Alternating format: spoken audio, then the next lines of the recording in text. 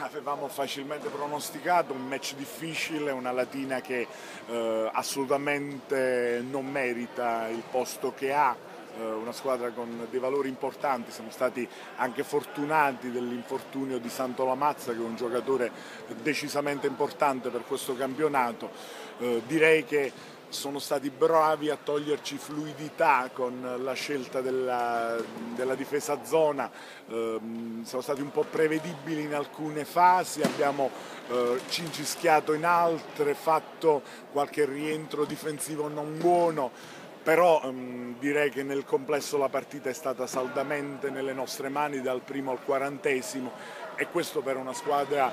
che era reduce da un mese di ottobre e un mese di novembre che ben sapete difficile, non era per nulla scontato, direi che eh, nella difficoltà del match ci sia da sottolineare anche il fatto che eh, siamo stati abbastanza tranquilli anche quando potevamo andare decisamente in ansia, non lo abbiamo fatto però eh, abbiamo sul taccuino annotato un elemento in più, eh, bisogna essere un po' più fludi, un po' più rapidi rapidi in certi aspetti nell'esecuzione dell'attacco alla zona, ma onestamente è la cosa sulla quale eh, avevamo lavorato meno in questo mese e, eh, si è visto, insomma, però eh, in questi casi non pagare per nulla dazio, credo che lo scarto non sia mai sceso al di sotto dei sei punti, eh, dimostra che questa squadra mh, comunque eh, in un modo o nell'altro propone ehm, reazioni positive, ecco, e non era per nulla scontato,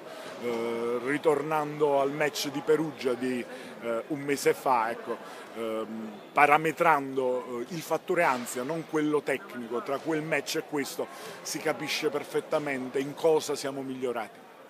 Le zone sono una coperta corta, o c'è un'energia mentale importante nell'attaccarla, eh, nel, nell'eseguirla, oppure l'attacco finisce con l'essere agevolato. Latina è una squadra tecnica, ehm, tutto sommato ha trovato immediatamente la chiave, abbiamo giocato due possessi, abbiamo preso un canestro da tre e un canestro da sotto,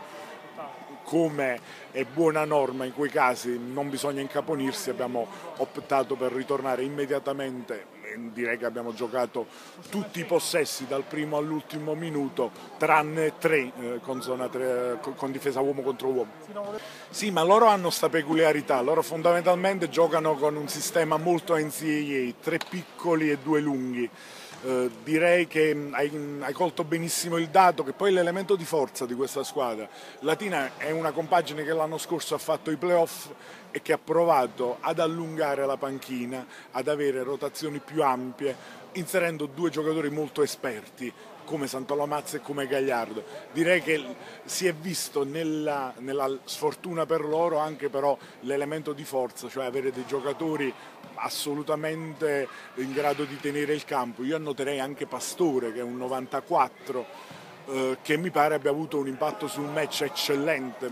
veramente importante. Latina, eh, lo dicevo anche in fase di presentazione, è una squadra probabilmente partita per giocarsela per le prime sei piazze, non solo per, per la salvezza diretta, insomma, verissimo, verissimo, però eh, io direi che Um, stiamo iniziando ad avere questo tipo di approccio con tutti i giocatori. Uh, direi che è stato chirurgico, malgrado il problema fisico, uh, il contributo di Francesco Quaglia. Direi che uh, Sabatino partito in quintetto, Ricci non in quintetto, è evidente che la differenza non è di valore ma era semplicemente legata alle, alle caratteristiche dell'avversario stiamo sempre più giocando come squadra, eh, anche in questi dettagli. Siamo partiti con un aspetto emotivo, giocare come Viola nel senso di mettere il pronome personale noi invece che io al centro della scena. Adesso questo giocare come squadra, come Viola, diventa di più un fatto tecnico, cioè capacità di tutti di incidere, indifferentemente dal momento del match in cui eh, vanno in campo, eh, sanno perfettamente eh, cosa fare. Direi che questo è un po' l'uovo di Colombo del giocare come squadra.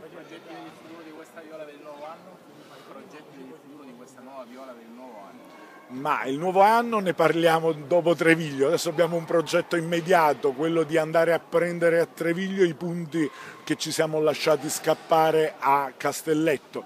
Eh, dire che Castelletto è una squadra che ha vinto 9 delle ultime 10 partite, incluso il match, il derby di ieri sera, è una consolazione che a me non piace. Eh, avevamo la possibilità di portare via quei due punti perché avevamo giocato per larghi tratti molto bene, abbiamo avuto un ultimo quarto non all'altezza, soprattutto in difesa.